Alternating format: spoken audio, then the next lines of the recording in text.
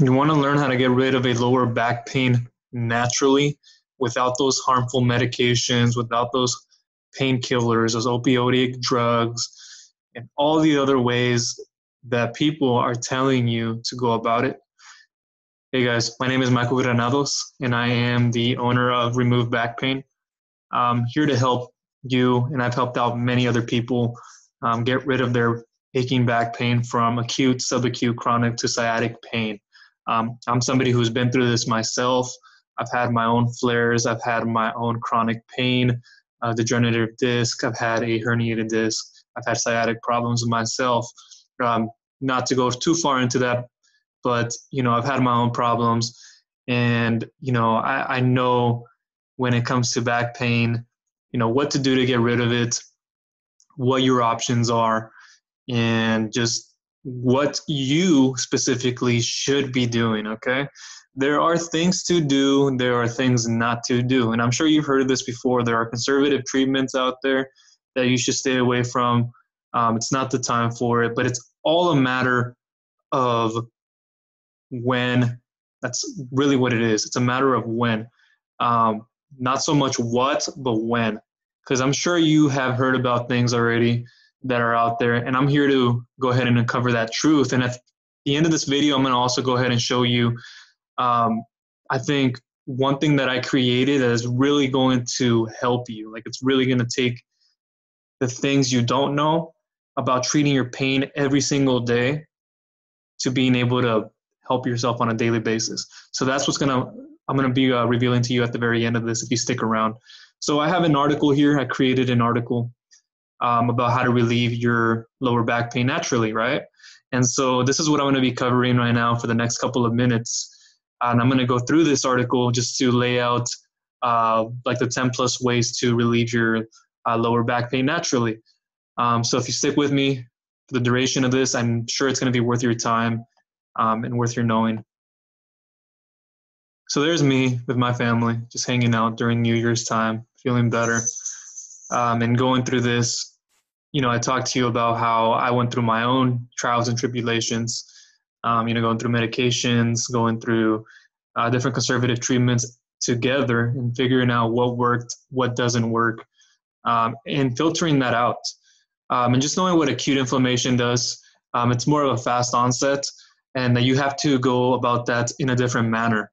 Um, and I talk about here how it's the physical signs of a bruise, a scar, or a wound. Um, you have chronic inflammation, which begins slow and steady between three to four days.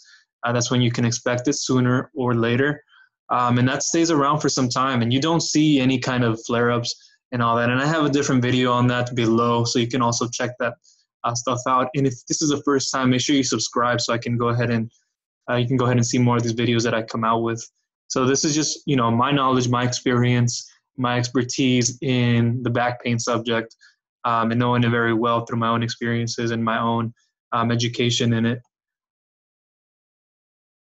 And just going through here that um, you should know that there's things like ice and heat, uh, changing your diet, taking the right enzymes in your body, and then using mind and body techniques. So I'm going to be covering that as I go along here.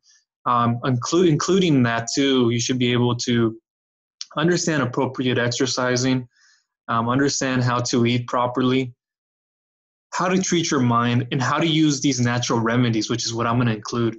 Um, and we're going to get started on that right now. Um, so, one question before that, though, is what do you do when you are overcoming surgery or you are between thinking about going into surgery? Um, there's going to be obviously a different approach. You might not think about it holistically at the time, or after. Um, so our immediate reaction when we have a herniated disc, ankylosing uh, spondylolisthesis, um, when we have all these other things like arthritis in our back, um, all these other symptoms and all these other conditions, we always tend to think the worst one without getting maybe an MRI, an X-ray, right? You should be doing that.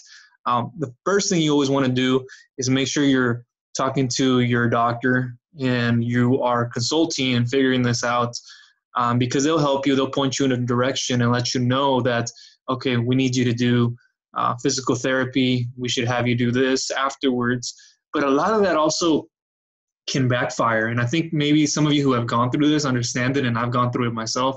That once you go through this rehabbing stage, it's like you just go down a spiral of feeling like you're left out. Like, what else should I do? I've tried to, um, I've tried these painful medications, they haven't worked. I've tried a heating pad, that hasn't worked. I've tried a massage, that's not working. I've tried all these different routes, and it's like they're not going to work.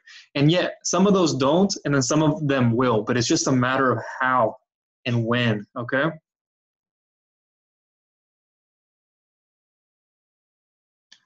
So number one being okay, cold and heat therapy. Okay, this is one way that you should naturally be going about healing your pain. This is probably the most obvious one. Um, within those, you know, 48 hours to 72 hours. Um, sometimes you can include 24 hours can be fine if it's just a very minute acute flare up. But after those 48 to 72 hours, you should be heating your back. So between 48 hours, 72 hours, you should be thinking about using a cold pack, right? Using a cold pack to um, cause the swelling to go down. And then with the heating pack, you're going to be promoting uh, more blood circulation through uh, uh, around your vessels and through around your back and through the ligaments and through the other areas that are on your lower back, such as your hamstrings, um, your thighs, your hips, um, legs, etc. Okay, so that's what you need to be doing immediately. And obviously, it differs if you have more chronic flare up. If this is not an acute flare up, um, most of the time you're going to be wanting to use just a heating pad, right? Use a heating pad for a day, it should work just fine. Um, integrate that every single day um, if you're going the heating pack route, and that'll help you. And again, I'm going to let you know on my secret at the very end of this how you can actually understand when it's time to use a heating pad versus um, maybe something else, when to let it go, and so forth. Again, the heat will circulate oxygen um, just like water does. And I that's another way I'm going to get to, which is later on. But using water is also a great source to provide nutrients and proper blood flow, right? So they can get through the capillary, so they can get through every single uh, vessel, every all the veins, and push out the blood to circulate around your body. Number two, this is a big one exercising. Exercising is a huge one that many people um, avoid. They know it's there, but they avoid it. And you might be there too, where um, you've tried just about everything, it doesn't work, you still have pain, uh, but maybe you're not doing it correctly. There are certain ways that you should be exercising to get the most effective amount out of it. Um, just so, first of all, what I like to tell people is when you encounter this pain and inflammation, take a seat, relax, okay? Take a second to calm your mind, okay? Because when you do everything scattered, it doesn't come together. You can be doing more damage to your body. Uh, your muscles, they need the strengthening and flexibility. Um, so if acute pain happens, you know, you should be doing a bit of stretching. Um, you don't have to do it consistently over days if it's just an acute flare up, but you should be taking care of your muscles and your joints no matter what. So before you exercise, after you exercise, make sure you're stretching and you're getting that flexibility in. Otherwise, um, this can become more of a constant issue and you're going to be having more flare ups. Then those flare ups, when you don't take care of them, become chronic. So I've listed here you have yoga. Okay, yoga is the number one way. Um, yoga is what I do. I still do it just about every day um, in the mornings to afternoons to evenings to nights. Um, and I have a routine of doing this, and I'm going to give that to you to be able to use in your daily life, whether it's acute to chronic pain, how to go about that. And here I just talk about how it strengthens, we think about how it strengthens our bodies, uh, but also it strengthens your mind.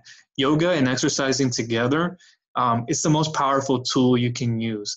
Um, if you're not utilizing this, it really should be something you use in your daily life and really start implementing this because you're going to start seeing the changes uh, thereafter, day in and day out.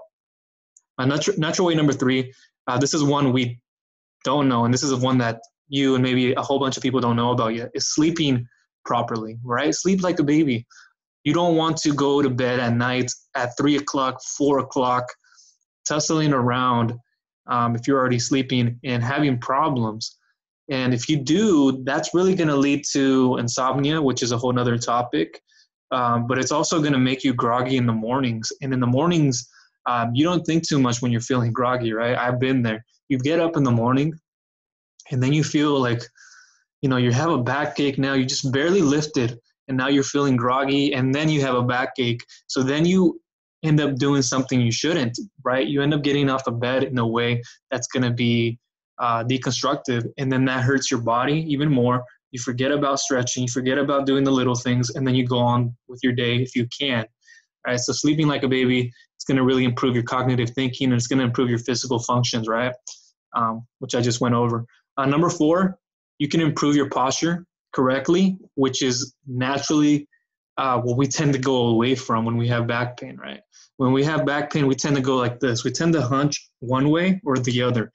Forward, yes, but more so to the left or to the right. I know I still have that habit when I sit down to eat dinner or I do anything else, or when I go to type, um, I still have, you know, this non-equilibrial um, way of turning. So improving your posture correctly is going to really make the difference. So I go over here, and this is the article that you can actually go over to, which will be in the description. Um, so make sure you go over that. It's more descriptive, it's more descriptive, and it goes more into uh, specifics. So whether you're doing this at work, there are different ways of doing it. You can just go here. If you're at home, you can do this. If you're just out walking, you know, you'll be able to click through these and get through them. Um, and these demonstrate a whole bunch of different ways for each and every se- single section. So if you're at work, um, I have a whole different article for that, so you can stand up straight, um, not have to spend on things, right? Not have. That's what I'm here to make sure you do. You don't have to spend figure out what is working or figure out what you need to do to make it work and then go from there and then i go through ways of how to demonstrate that uh, releasing endorphins okay be happy about things in life smile at every minute you get. Um, don't feel don't feel down on yourself. Don't feel down on life. Life is great. It's about our perspective and how we make it out. Um, this is graspfully going to improve your behavior and the way you respect yourself. Stop consistently blaming yourself because this isn't your fault. These are just natural occurrences that have had to happen, and now you're in a place where you feel like there's nobody helping you out. Sometimes you feel like physical therapy isn't the route. Sometimes you feel like just going to your doctor and getting prescribed another medication isn't helping. And truthfully, it isn't. Okay, when when big pharma has gone in the way of everything, it slowly becomes a mainstream thing.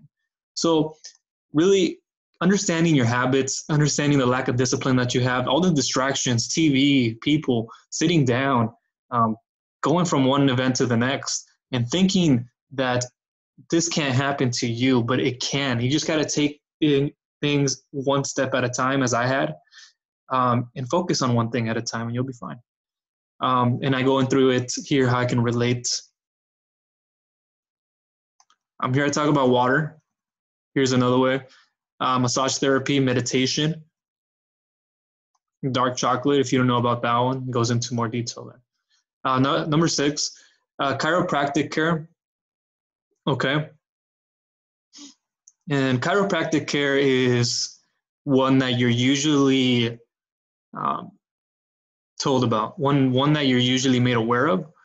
Um, and it does help to a degree, but after you're done with that, you know, with spinal manipulation, um, you should also be taking care of yourself. You, you shouldn't just rely on one conservative conservative treatment that way, and think that because now that your back feels more loose and less stiffened, and your muscles have the oxygen um, to be able to properly flow and let you function physically, that you should just go and sit down and do things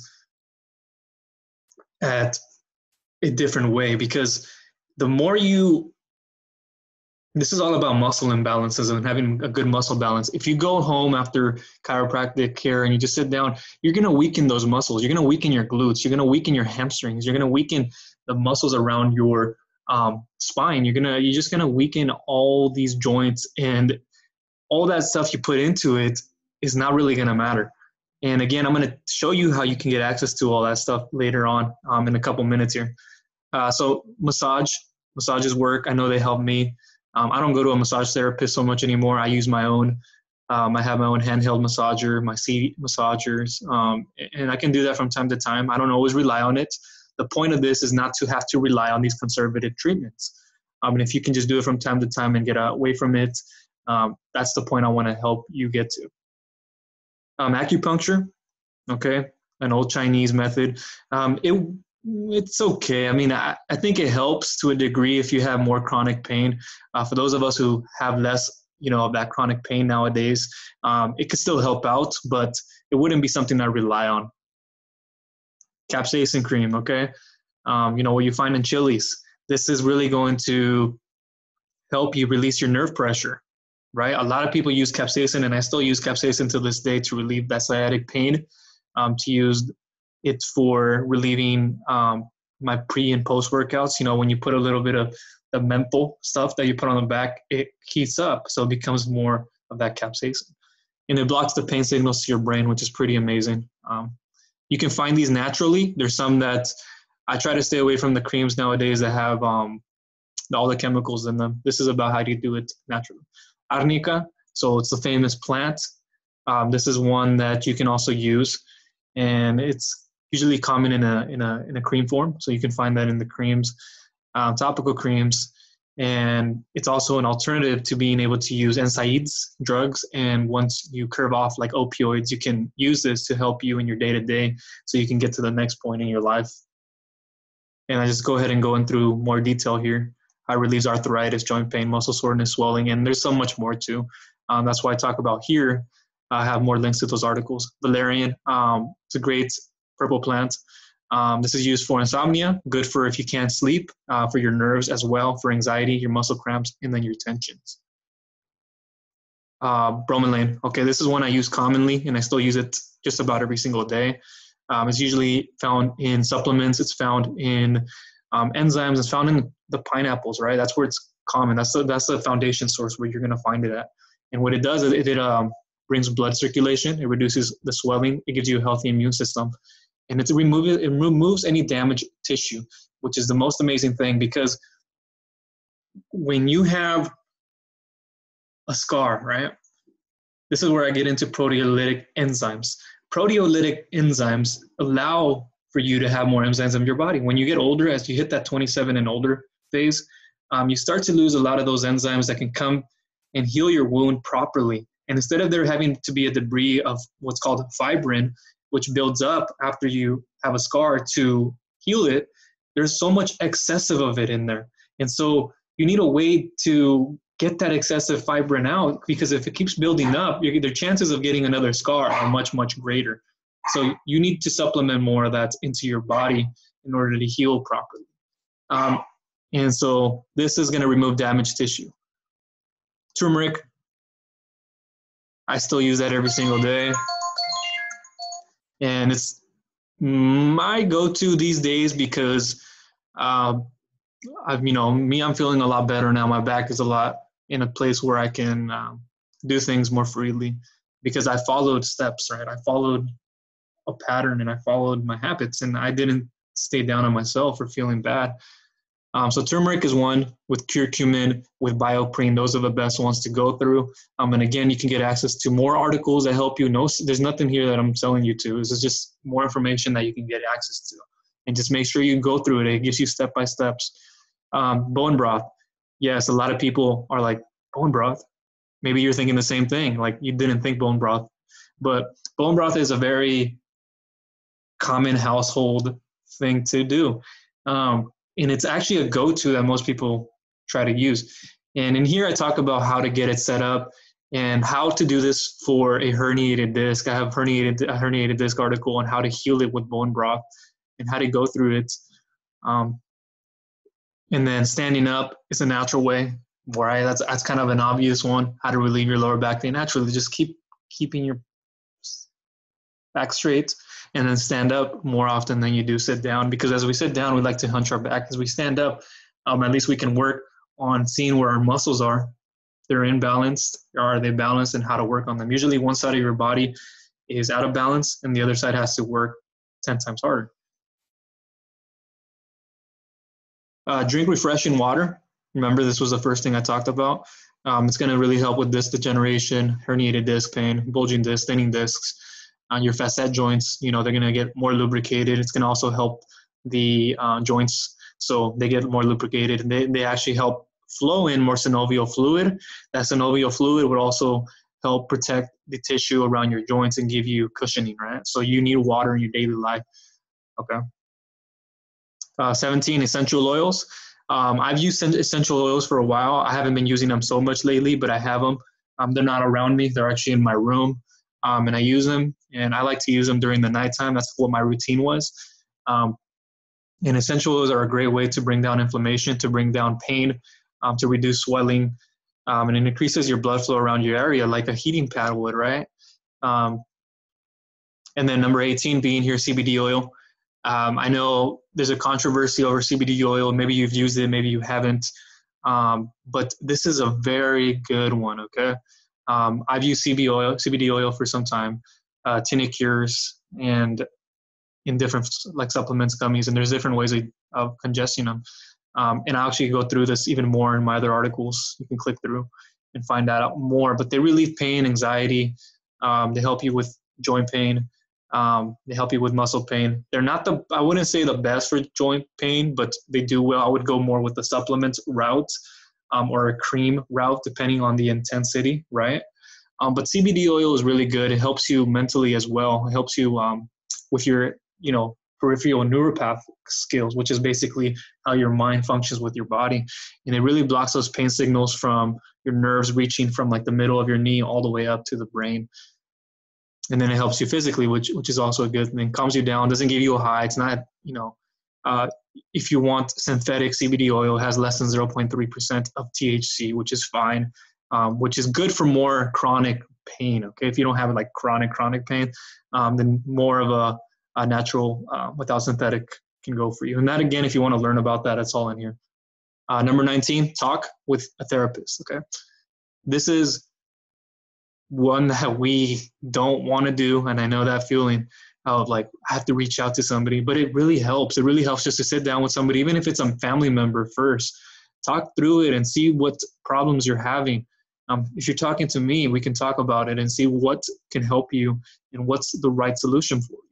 So that's really good. And, you know, as much as 59% of people have reduced their lower back pain just by doing that, right? It helps on your cognitive behavior, it changes your thought patterns, um, and that's really going to help. Number 20, focus your brain. So one thing at a time. If I'm here um, reading a book, I want to focus my time on reading a book. If I want to focus on exercising, I need to focus on exercising. If I want to focus on sleeping properly, I got to focus on excuse me, I got to focus on that.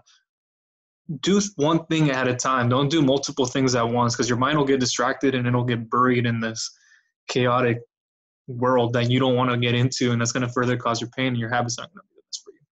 Um, so, what is the best thing you can do? And I talk about this. Everybody has a different kind of pain, and I go back to that when, right? Everybody can use a massage. Uh, everybody can use a chiropractic care. Everybody can use a heating pad, creams but when is the time for you to use this is a big question. Um, and so I've made that easier for you, you know, whether you have a degenerative disc, herniated disc, um, ankylosing spondylolisthesis, spondylolisthesis, arthritis, rheumatoid, osteoarthritis, whatever this pain might be, hereditary, um, there's different ways about going about it. Um, you know, and I have action plans in this article for acute pain, for chronic pain. Here's your option A. Um, and it goes through it's more. And then I also have, you know, another video. This is a video that um, I'm also going to link into the description so you can actually check that out. Um, but, you know, and I also have a remove back pain system here, which takes you through a journey, depending on where you are in your life, to what needs to go next. Like you're going to learn about chronic inflammation, and then after chronic inflammation, it'll start you with exercise. Here's how to do this for hamstrings. Here's how to do this for hips. Here's how to do this for your thighs. And then after you're done with that, if you have um, stronger pain, how to do walking versus swimming, and so forth, right? And it goes through all that. But this is what I want to tell you now. What I have created is a guide, okay? This is like an ebook guide that's going to help you. Here, let me see if I can find it here. Um, it's not in here, but what this what this guide is going to give you is it's going to give you the steps on what you should be doing just about every day how to manage your back pain in about five days. And so, what this is going to do, it's going to really help you understand what you should do in the mornings, afternoons, evenings, and at night. And it's going to really show you how I do things and what I had to go through my journey to be able to get to where I am.